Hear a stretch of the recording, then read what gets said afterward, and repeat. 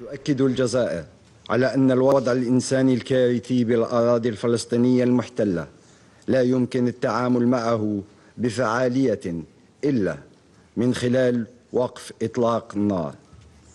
لذا نجدد مطالبتنا بوقف فوري ودائم لإطلاق النار ومحاسبة المحتل الإسرائيلي على جرائمه وانتهاكاته الممنهجة والصارخة للقانون الدولي الإنساني.